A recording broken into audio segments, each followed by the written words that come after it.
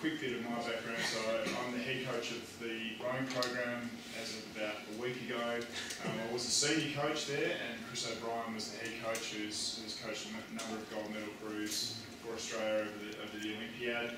And I've coached um, at an elite level for uh, probably realistically since 2005 when I coached my first um, crew to a World Championship. Prior to that, I coached as a volunteer in a successful club. I worked as, I ran a rowing program, and I started off coaching the Year 10 E crew at one of the schools. So I, I really feel like I've gone through the coaching pathway um, and, and trying to forge that on a little bit further over the next couple of Olympic cycles.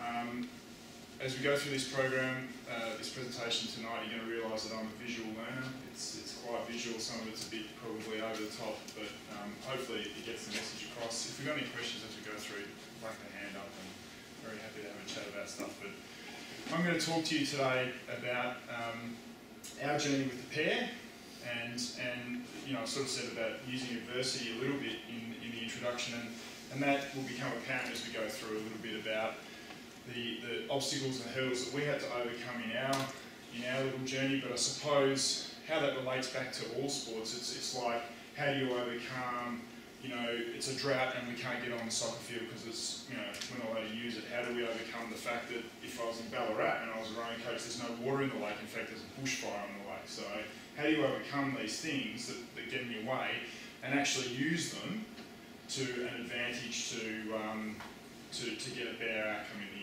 I suppose that's, that's probably the message of my presentation tonight.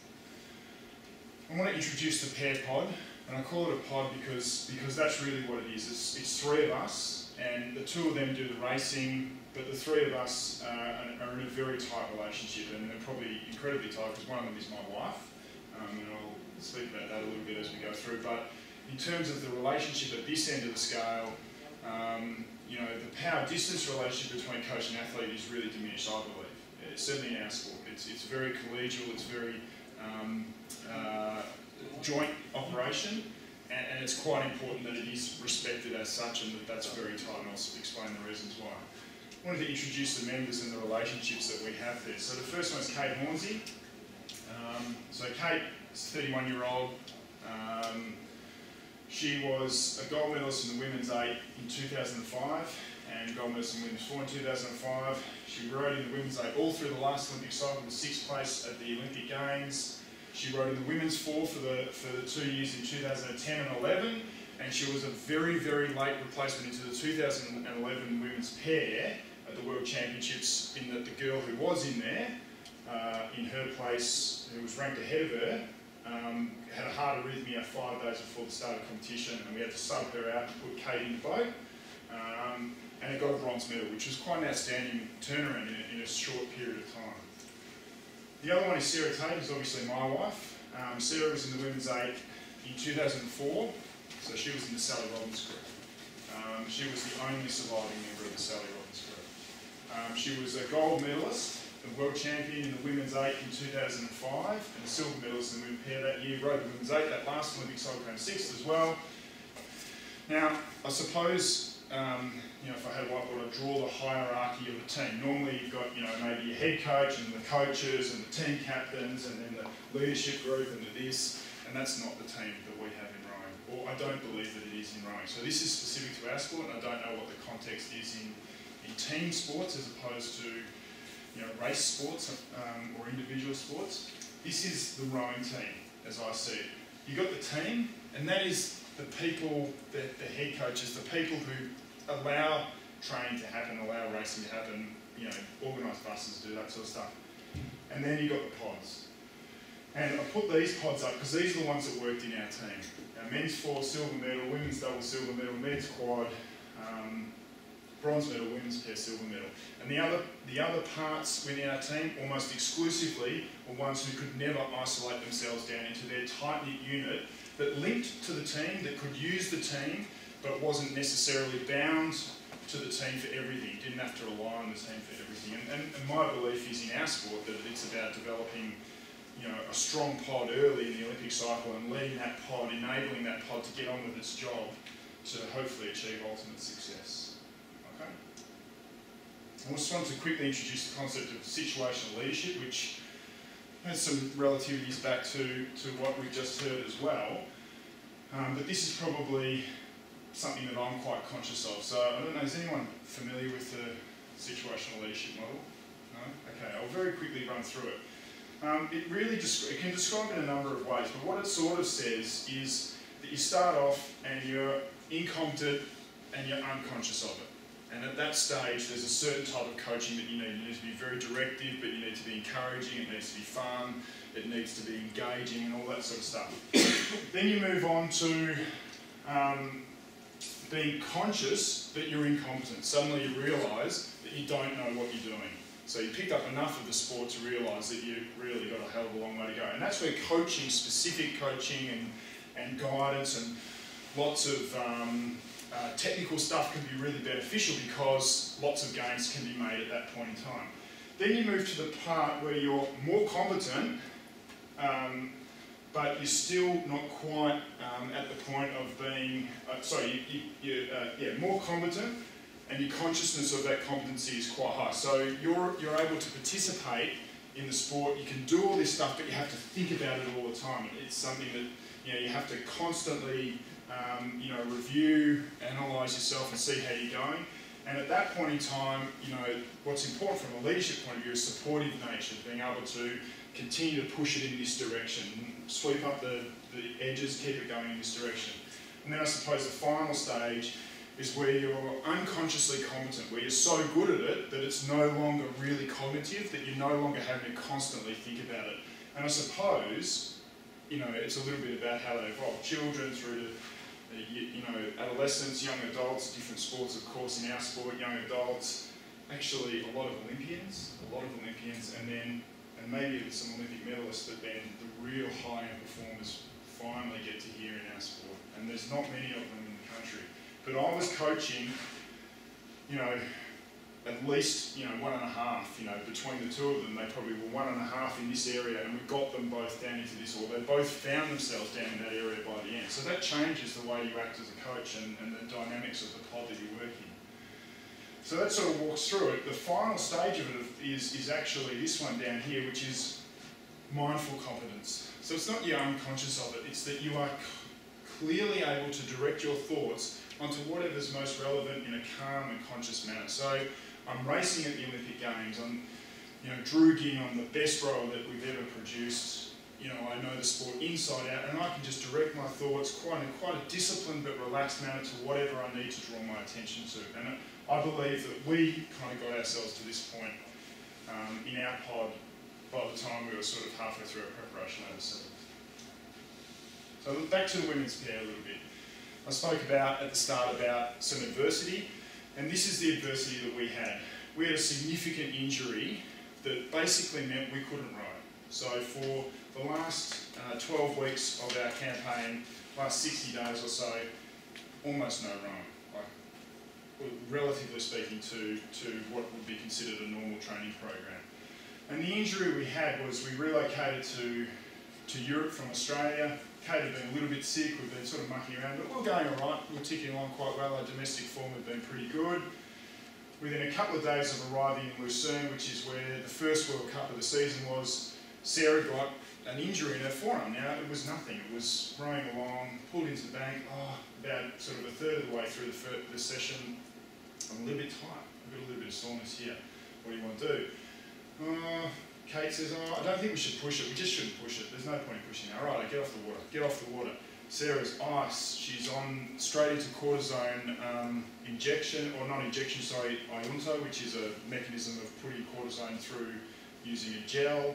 Um, and she's very diligent, so she's we stopped her straight away. We've got ice on it straight away, good compression. The doctors uh, all over it.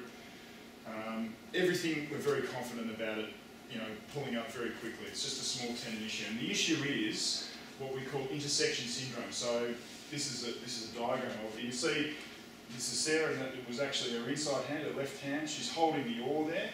And you can see there are tendons that work to extend and flex the, the thumb and the first couple of fingers. And they actually cross over each other, which is called the intersection. And where they cross over, just so happens in rowing sweep, at that point in the back turn, when you have to do that, it's quite an extreme angle and it actually causes a lot of irritation. What we later found out was she'd worn a hole in the sheath between those tendons, and, and every time she did that, it was just breaking the hole open and ripping it apart. So what looked like just a sort of a tendonitis kind of thing was actually quite a bit more severe. At 50 days to go, it wasn't clearing up. And Sarah and I went to the doctors and we sort of said, look, we called a meeting, medical staff meeting, we said, we should have a cortisone injection straight away. There's no, this is never, it's a reasonably common injury in rowing. It never gets better by itself. Um, want a cortisone injection. Had an excellent doctor there and great medical team, but they didn't know Sarah at all. They didn't know her. And she's reporting a pain of 4 out of 10. They're thinking, it'll, it'll be all right, no cortisone.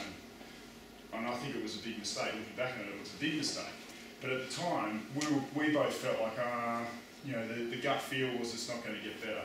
And I think that was probably our first little critical mistake. Why wouldn't they actually do the cortisone? If in uh, any shadow of doubt at all, why wouldn't they put the cortisone in? The cortisone is like a five to ten day um, recovery rate from this. So it was almost like saying, well, you might miss 10 days of training. And, and we were sort of, oh, it's, it's, a long time to go to the Olympics, really. It's not wouldn't she miss five to 10 days of training if they do nothing?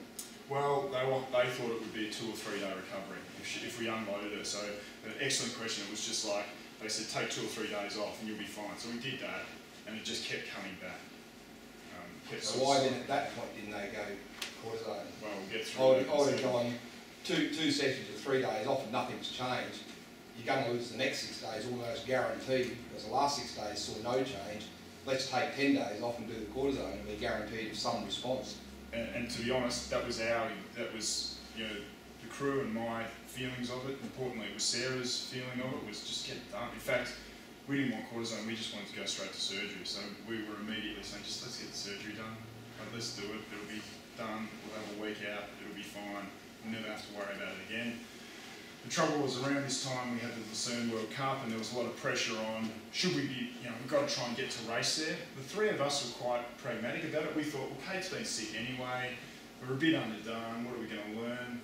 Lucerne's the biggest regatta of the year outside of the Olympics and it would have been great to race all our competitors, but you know, what are we going to learn? And as it is, as it is we went out and we raced, we came fourth, but we were a decent whack off where we wanted to be relative to the winners and it was a it was a it wasn't really a positive experience. It wasn't an experience that we actually learnt anything out of. But the people who were in charge of the team were quite firm on saying, no, we think we, we, that you need to race at that time. So it's a bit of a mistake. And it's a bit of a mistake for me as a first year Olympic coach, my first year on the Olympic team, maybe not to have dug my heels in when we sort of knew something, even though the medical staff were pushing us in another direction.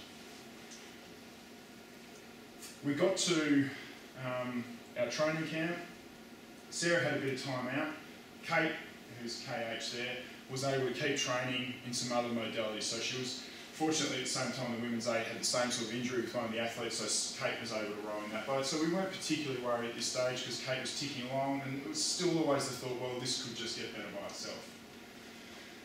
The key decision at that point was I decided we needed to change the crew combination. And the history on this is, this is Kate has always rowed in the stroke seat. So Kate has always led the rhythm, Sarah's always followed. Sarah's been seen in the national team probably by coaches over her career as being the ideal person to follow. She's light, lean, flexible, she's got good balance. Kate's a real driver, she's, she's a real racer and really likes to serve up a rhythm.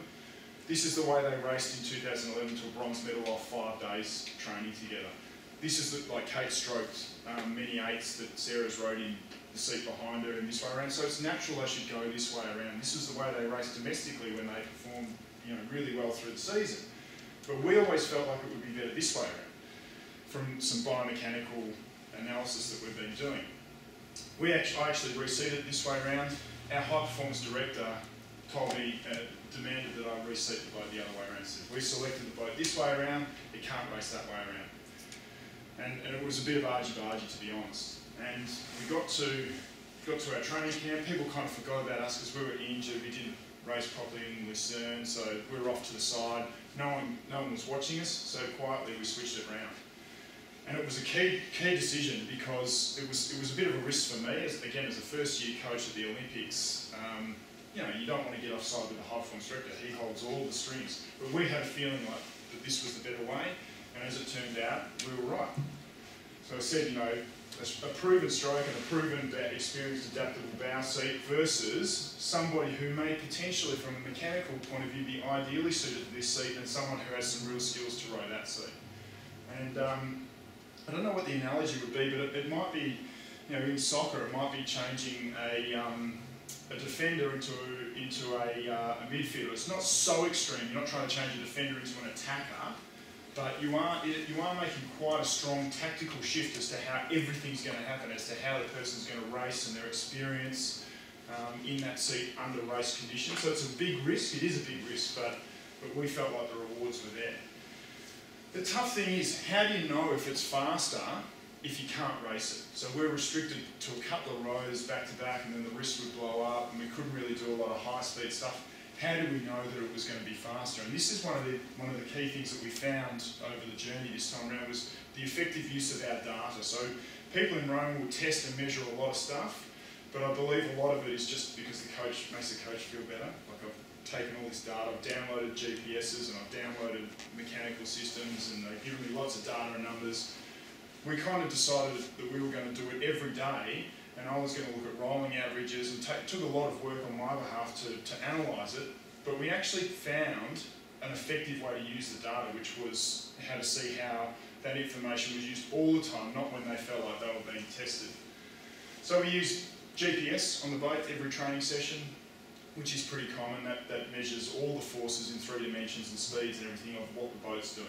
We used a Biomech system, which I'll show you a little video of, hopefully if it works in a second, which measures all the forces that the rowers are applying the whole time. So it's like a, it's a force gauge or a power meter um, of what they're doing all the time. Now, this is pretty rare technology in rowing. Not many people actually have access to a system like this. We were able to get it, fortunately, through some funding at the VIS and we were able to have it on our boat every day. So rather than testing an athlete when they think they're being tested and their numbers are right over the top and assuming that's what it is, we knew what they raced like because we kept it on the boat when we raced, even though the system weighs a few extra kilos and, and whatnot, and we knew what they trained at properly. So we could actually see that at paddle speed, they were about 3% faster, which is a significant change in rowing given that most of the medals are won by less than half a percent. 3% faster with 1% less power. So they were faster for less effort, and that was quite clear at, at sub-max. So it's only sub-max, it's not at race, but we couldn't get it at race. So judging on that, we thought that's a pretty good, that's a pretty good assessment. 80, 80, 84, 85?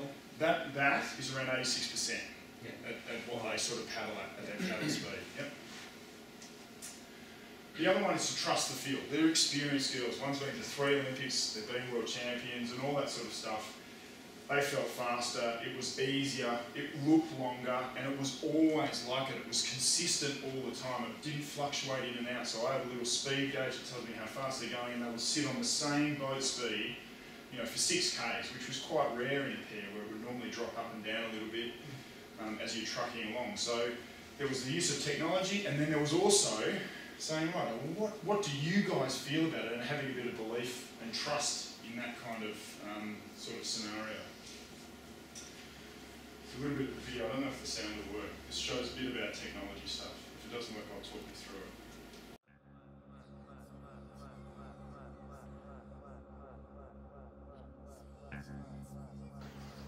Hi, we're Sarah and Kate from the Women's Pair and we often get a lot of people asking us what all this hoo-ha on our boat is. So today we thought we'd go through each one and show you what it all does. Number one, we have our GPS. Pretty much every boat has this. This uh, shows us distance, so the coaches can get this off our boat at the end and download all the data, see how fast we've gone, its kind of relative speed to the satellite that's showing us where we are in the world.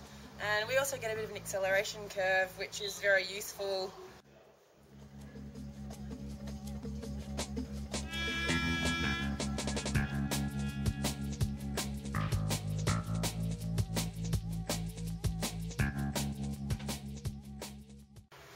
This one here is our Speed Coach XL. Um, this can feed live data back to our coach in the motorboat so he can see the speeds we're travelling, what rate we're doing, um, you know, how, how far we are through pieces, etc. So that's pretty handy. Um, and you know, we'd use this in a race every time to get a gauge of our rate and sometimes our boat speed as well.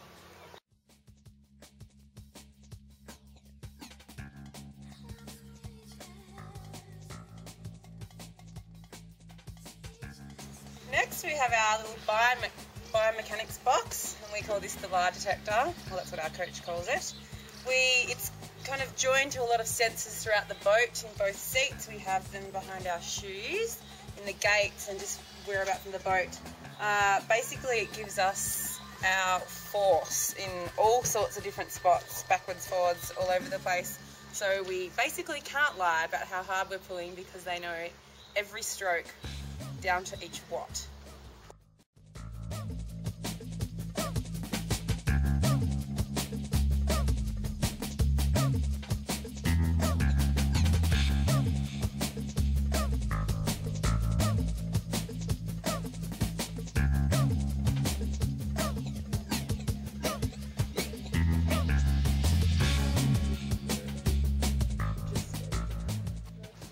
Uh, next we have our bat which you can see under our shoes. Um, these help us to better connect through the drive with our glutes and hammies as they have a raised section under our heels. So right at the catch, your heels can go down straight away. Um, they also have wedges under here which you can individualise the athlete. So if you have less flexibility, you can have more wedges, or if you have legs that are different lengths, you can have different wedges under each feet. So we found them very useful for our drive. Our newest baby that we've added to our boat is our GoPro camera. Uh, we can place this on the riggers, it can face uh, inwards or outwards so you can see the rower or the blade or we've also tried putting it on the stern and bow of our boat to show video from all different angles and we think it's a really exciting new addition to our hoo-ha as we can get some really great video and link it up with the uh, biomechanics data and things like that.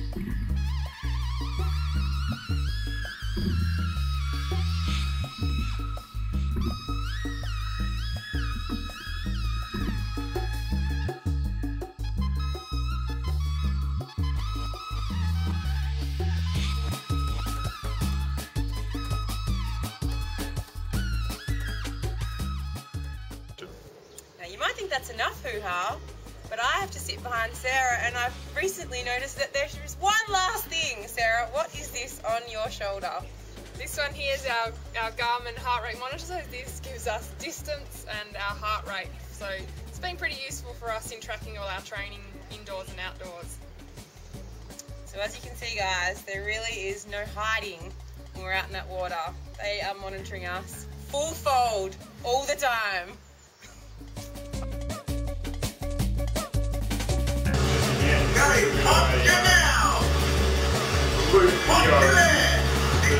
Demonstration of what basic boat speed and stroke rate there.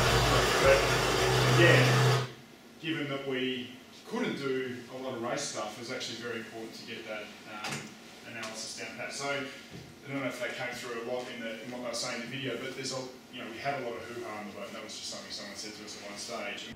Okay, so the um, seating of the crew was probably the first um, mo most important key decision that we made, and obviously being able to make that decision um, without with the absence of um, of really good opportunities to race was probably difficult, but obviously um, being able to utilise our knowledge and, and some of our testing protocols um, enabled us to make that decision pretty easily, and we were pretty confident. The second key decision um, revolved around the program and how we're going to assess the program. And again, it came back to a little bit of using some of the technologies that we spoke about um, from a biomechanical point of view, um, but also about the, the actual type of training that we, we would do. And I'll just use this little visual as an example. If you have unlimited um, access to um, the athletes, there's no injuries, then you can do everything from this to that. You know, this, the spectrum is a panorama and you can fill in any activities that you like, which is great, but it can also offer some challenges because there's a million and one things that you can actually do. When you get an injury, it really narrows your focus down because you're limited to being able to only do these things that are right in front of you. And I actually think that in many regards, being limited like this and having to make the best of that enables you to focus um, what you're doing create some real clarity and intent around all the training sessions and therefore um, can certainly lead to a better long-term outcome. So we stuck to a couple of key principles. From an in-boat point of view, we really used the biomechanics system, the GPS and their heart rate monitors to measure efficiency in the boat. So we weren't looking at you know, what was our maximum capacity all the time. We were actually looking at how easily we were, give we were getting to a certain level of performance. Um, and that was particularly important when we couldn't actually do maximal um, efforts. Um, and certainly one of the things that helped us was the fact that we had consistent conditions for about six weeks. The water in Varese was excellent. We didn't have too many crews around. A couple of times the crews disappeared for different um, activities and we were alone on the lake and enabled us to do a lot of repetitive training and see the progress that we were making by doing that.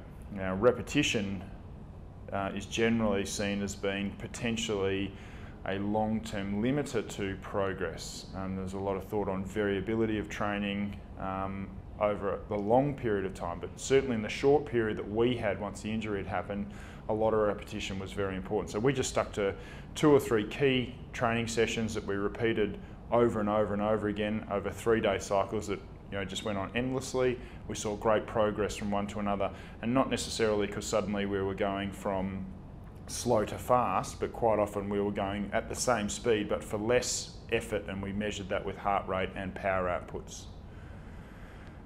I think one of the one of the other very important things is that the variation in training you might not be able to get from the on-water stuff, you can actually utilise the cross-training capacity. And both Sarah and Kate through the type of training we do naturally in our training system in, at the VIS incorporated a lot of skills in some other varied activities. They were both very good on the uh, watt bike, relatively speaking. Um, Sarah in particular, and Kate obviously was able to use the ergometer as well. And in, in actual fact, um, during this period of time, Sarah improved her cardiovascular capacity, I believe, reasonably significantly. She was already very fit, but she took it to an a personal best level in, during that period of time purely because of the amount of time she had to spend on the watt bike, which was something that wasn't familiar to her. So um, I use the concept of cheating the um, principle of diminishing returns. So we all know that as you do activities more and more, um, you certainly start to see less gain for the same amount of effort over time. That's a fairly common principle. Then if you suddenly shock that up with another activity, um, such as going into doing some heavy cycling, where, particularly where you have good skills but you don't necessarily have recent um, uh, physical uh, experience, you can get a really good fitness kick. So, you know, it's a fascinating um, uh, little experiment that we almost conducted, which certainly worked for us in the long run. Um, the other vital part to this is trust in our pod, and I think that's something that we mentioned a couple of times already, and, and certainly is one of the key lessons, was that none of this would have worked if Kate Hornsey didn't believe that what Sarah was doing on the Watt bike and with her medical stuff was going to make the pair better. There's no chance that Kate could have, in all good faith, got on the ergo um, as much as she had to get on the ergo um, if she didn't believe in what Sarah was doing in the medical team um, and in our little team of three, that we were actually heading on to bigger and better things. And really, it's easy to focus on what um, the medical staff might have done with Sarah and what Sarah might have done to get herself right, but the true um, you know, hero in a sense in, in the, the whole project was Kate's ability to get on with the job um, outside of that. And there's just a little point on the cheating the principle of diminishing returns, which I think actually has some serious carryover um, into you know a, an uninterrupted program. And it's a challenge now for coaches, or, or certainly that I look at it for me, to find ways of being able to do that when it's not forced upon you by an injury or circumstances. I'll just outline the difference that, of, the, of the typical training week compared to the week that we faced.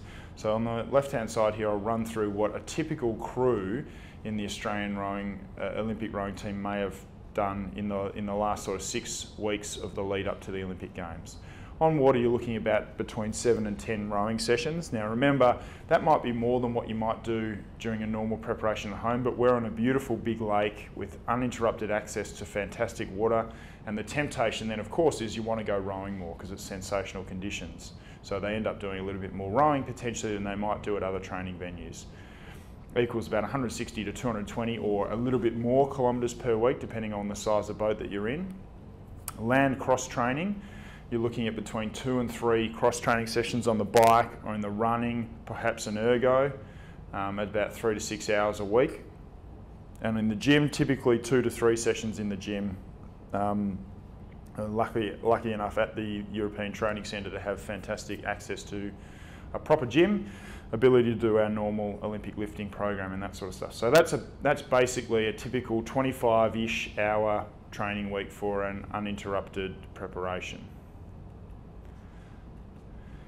The women's pair typical training week looked a lot more like this. About five to six on-water sessions, so we're, we're not even getting a session a day, and that was even after the surgery. Prior to the surgery, we were getting probably three maybe four training sessions a week in our day on, day off kind of principle. And they are shorter rowing sessions. So whereas a lot of crews might knock out 20, 24, we'd be maxing out at about 16 at this period of time in terms of kilometres on the water.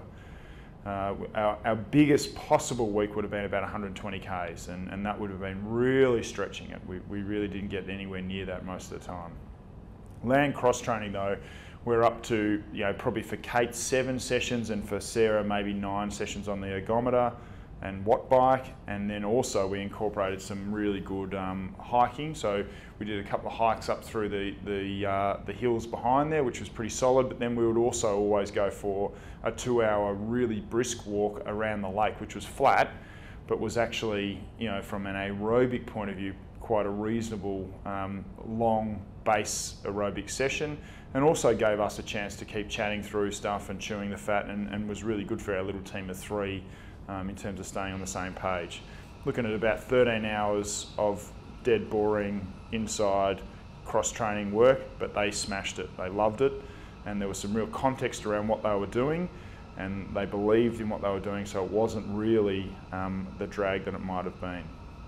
Back into the gym, three sessions in the gym, pretty standard you know, we ended up getting around about the same hours of training. In fact, and I, I know most people would think, you know, oh, we're training the hardest, we're training the hardest at the moment. There were certainly weeks where I reckon we were amongst the hardest training crews um, in the team, um, and I think there's no doubt about that.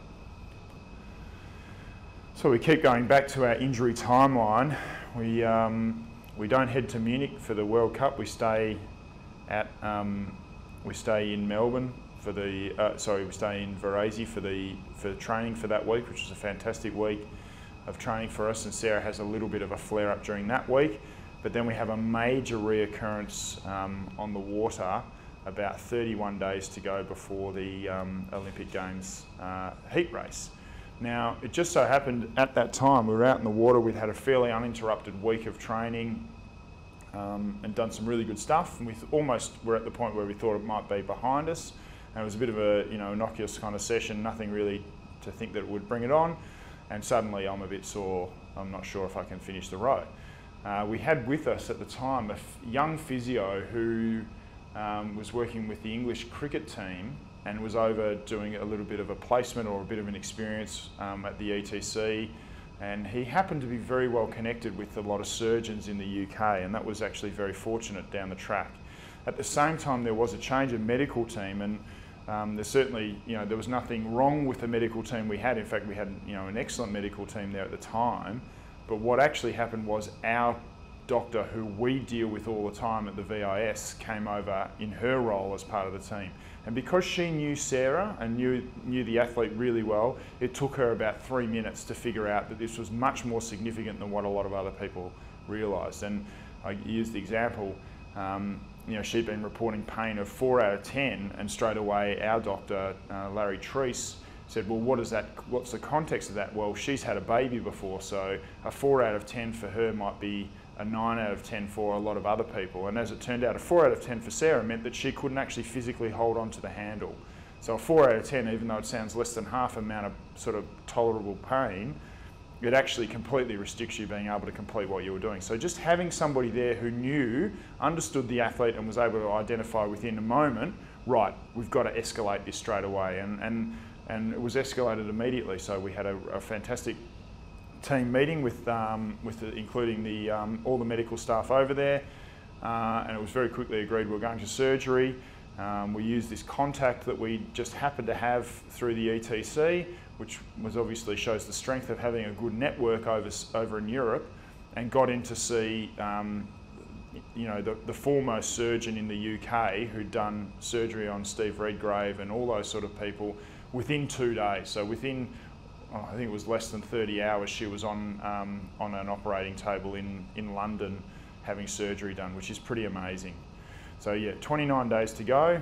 That's Sarah, a photograph of her sitting there waiting to have surgery. There's poor old Kate back at the uh, European Training Centre on the ergo, punching out another training session. But we also used that time for Kate to have three days off because we hadn't had any time off since we'd gotten over there. So she went away for three days, refreshed the batteries, came back in really good headspace, and Sarah came back, um, obviously, you know, optimistic that hopefully surgery's gone well and maybe we might be able to get past this. Um, another few days later, with um, 26 days to go, Sarah was at the point where it was it was recovering so quickly that she was able to get on the ergometer for the first time. So um, I think we managed the the recovery process really well. We were able to organise um, uh, an amazing little system which puts an ice pressure cuff around the injury that she slept with. There's a little machine that pumps ice water through and a little bit of pressure. And all these things played into our favour. And within only sort of three days, she's back on the ergometer, completing four by five minutes at what would be at 200 watts, which is the equivalent of paddling intensity. So, you know, that was a massively positive sign. You can't really see on that, that photo there, but she's got a grin from ear to ear, and she bounced off the ergo after that, just thinking, you know, we're back in town here. Uh, 24 days until the Olympics, we're back in the boat for the first row and back into full uninterrupted uh, training with 26 days to go. So that is, uh, with 16 days to go, sorry. So that means that with 16 days to go, there was not a single thing that I would have liked us to do or that they would have liked to do that, that we couldn't actually do. So, you know, it's just over two weeks of, of full on uninterrupted training. 14 days to go, so you know only a, a week or so, a uh, week and a half after um, after the surgery, and only really a week after getting back into the boat properly, um, we did a two kilometre hit out with the with the whole team. So the whole team did a two kilometre uh, race, and we worked uh, percentages off world's best time, and they were the top um, crew. They were the highest ranked crew in the team, and I think you know, at that stage, we obviously knew we were going pretty well by the feeling of the boat, but I think it quite amazed a lot of people on the team as to you know, how quickly this had gotten better. But it really was the fact that I think Kate had a lot of faith in what was happening, and the three of us sort of knew what the rhythm was that we were searching for, and we were able to slot back into it really quickly after Sarah was back to full time training. From that point on, from the 2K race onwards, we had absolutely no issues, and we went into the games in London with nothing hanging over our heads whatsoever, um, except you know really a huge amount of optimism about where we're going to. And we also knew you know the little mind game things that we the media had gotten hold of the fact that Sarah was injured. We knew that the opposition would be completely writing us off, and, and we loved that. And, and we actually sort of used that a little bit in our favour mentally as we got around the village. And I reckon because there was no expectation on our shoulders, I think the girls were about 52 to 1 um, odds of, of winning the race um, before the heats, I think we actually felt like we had no pressure on our shoulders and we were just loving what we were doing. And, you know, it was a great way to go about it. Here's a little short um, compilation video that shows a little bit about what we went through. Just talk you through a couple of things. There's our planning sessions before we got overseas, a little bit of the European Training Centre um, and the facilities that we had access to. This is the lake in Varese, just the girls paddling in one of our little sessions. You know, those of you that don't know rowing wouldn't wouldn't necessarily see much of that, but it was pretty easy, pretty long, and pretty rhythmical. This is the surgery, Sarah in there. That's the arm, a little bit of gore. And this is only a few days later. This was probably only a week after we got back into the boat, doing some work against the men's single sculler and doing a pretty good job. Um, again, just a little bit of paddling around the lake, and you can see once again just sensational condition, conditions all the time. And that really helped us, you know, just having that good consistency from day to day to know exactly whether we were going faster or whether you know we were uh, not getting any progress. Uh, that's the hill that we climbed up in the background a couple of times. Um, and another good view from the boat about you know just general rhythm and patience and this is a nice little tasty piece of work um, just after surgery just getting that boat up to speed and enjoying what we were doing.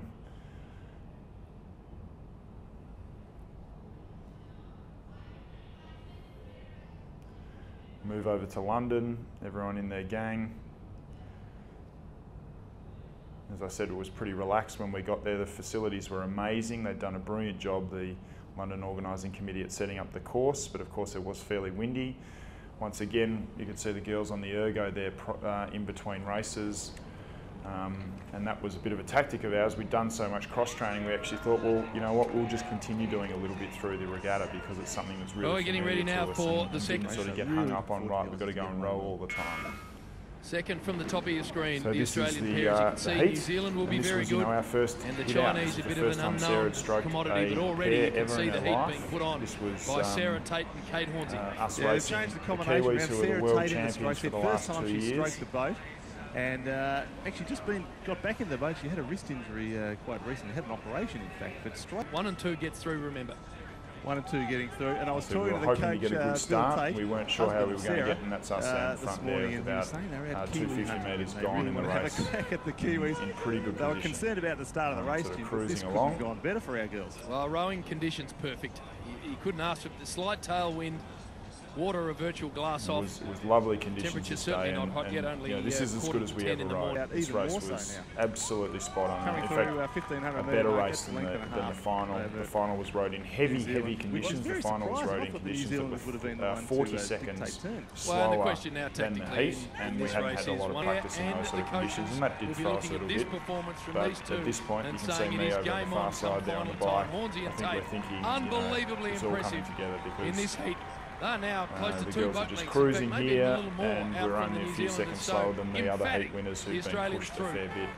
And that, That was, is a you see the bow result, there at the bottom for of the the screen of the reigning world champions, Kiwis and that's how much we'd second, so sort of straight put into them over the over the heat. So we China were very confident at this uh, point in the race. across the line Oh, together. in the regatta, I'm sorry. And again, between races, we had three, uh, sorry, we had four days between races, and we actually still used the ergo quite a bit. We still went and did our cross training. We did some lovely training rows, and this is actually a little training row on the lake there. Um, this was us doing a practice start against all the GB crews, which we thought was hilarious. Um, they do practice starts in some of the um, warm-up sessions, but we just plonked ourselves in the middle of the entire GB um, women's squad and, uh, and gave him a bit of a scare. Um, and again, just getting ready for race on the, on the amazing condition course that, that they put together for the Olympics. So final time, as I said, it, it really blew up. It- you can sort of see it's quite choppy on the water. It was very heavy, slow conditions, direct head, and you know we we hoped to get the same sort of start as as our other race. And certainly the, the lightest on in terms of horsepower in the field. Um, and that, that probably played a little bit of a difference, but really it was just the fact that we hadn't had any Olympic experience, I don't think, underway. racing in Australia these sort of lane conditions. And, um, Britain and the favoured in Poms lane had had a, a lot of experience and really used it to their advantage in the early part of the race to make sure of the win. here. Go with the You can see there the British crew just how aggressively they've gone girls out. are as well. Brits out strongly as we expected. But important to stay with the leaders. Early We got stages. we got a reasonable start, Australia in lane four. and I think the comments from the girls afterwards was they just weren't sure in these slow conditions They, they were good, but they just weren't sure how to set the rhythm, what, what sort of tempo, what sort of ratio to set that rhythm at. And with sort of 400 metres to go, we found ourselves in third or fourth place, and you know a length basically down on third place, and quite a bit back on first.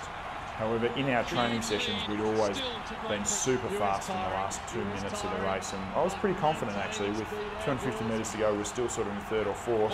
I was pretty confident we were going to get up into second place, and you can sort of see they'll show a bit of footage of the girls, and they were just going ballistic. And the, the, British had certainly gone out as hard as they could, and they were blowing up and slowing right down. The Kiwis were going ballistic, but they just probably didn't have as clean a um, movement as we did. And you can certainly see there they're already on about 44 strokes a minute, which is rare at any stage for a women's pair. But we had a lot of experience at doing that against some of the other Aussie crews in the last couple of weeks, and we were pretty confident. And you can see with about five strokes to go, we, we get our nose in front, and uh, and then onwards to uh, to the silver medal, which realistically, from from the the setbacks that we had along the way, was you know, I thought was an outstanding result for the girls, and, and we were very, very proud of, of, the way they'd held it together in the final and, and, um, and, managed to make sure they got a decent result out of it.